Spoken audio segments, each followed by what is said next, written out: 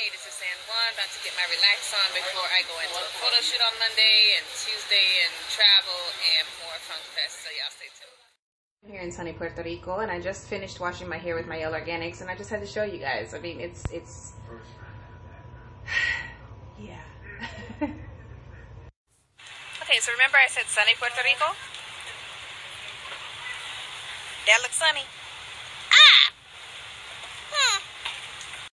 So my hair is up in a bun because sunny San Juan turned out to be kind of dismal. See that? Yep, rained on my parade, but it's still beautiful, and I'm still gonna walk around in this bee. bee. this is what I'm talking about. Yes, San Juan, give me my life.